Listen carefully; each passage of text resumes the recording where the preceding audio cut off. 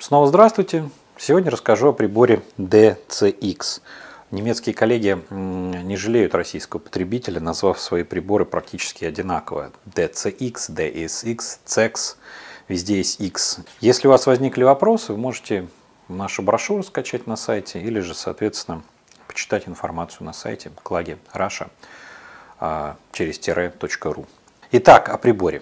Вот он у нас в коробке. Сейчас мы его откроем, посмотрим, что же там внутри. Кстати, вот когда открываешь коробку, сразу видно, что это Германия. Обратите внимание, как все упаковано.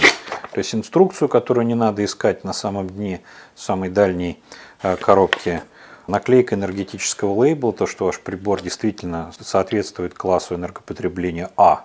Это важно, потому что когда вы а, платите 7 рублей, 8 рублей за киловатт-час, или когда вы платите 50 рублей за киловатт-час, вы все-таки пытаетесь экономить. Инструкция. В пакетике все прокладки, крепления. Тоже, опять же, обратите внимание, как все упаковано. А, фитинги, которые позволяют подключить прибор к подводке из стены или снизу открытой подводки. Ну и сам прибор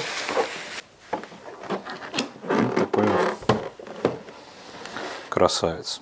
Здесь на лицевой панели пленочка приклеена, чтобы не поцарапать до того момента, пока вы не начали эксплуатировать прибор. Планка. Планка монтируется на стену, на нее монтируется прибор. Быстро, удобно, безопасно. Огромное количество отверстий нужно для того, чтобы не в каждый закручивать шуруп, а чтобы сначала смонтировать на те отверстия, которые есть планку, и потом только к ним прикрепить прибор.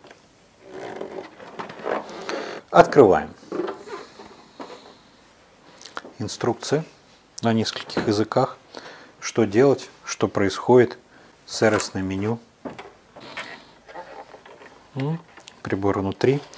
Еще раз специально для тех, кто не читает инструкции, памятка. Сначала открыть воду, только потом подать напряжение. Сам прибор.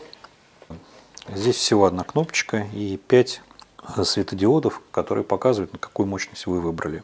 Подача воды, включение прибора, плата управления, блок нагрева, выход воды. Датчик температуры, датчик наличия воздуха в системе. В случае, если что-то произошло с прибором не так, и здесь есть светодиодная индикация, инструкция к светодиодной индикации на обратной стороне крышки. Что-то мигает, что-то выключилось, что-то работает не должным образом. Конструкция внутри. Через шланг подается а, провода, подключаются клеммные колодки, пошел ток на прибор. Еще раз повторюсь, важный момент. Сначала запускаете воду в прибор, потом подключаете электроэнергию. Вот ну, такая вот конструкция. Чтобы иметь доступ ко всем узлам, соответственно, вот эта часть у нас снимается – да, прибор вешается, потом подставляется рамочка, и потом уже закрывается крышка.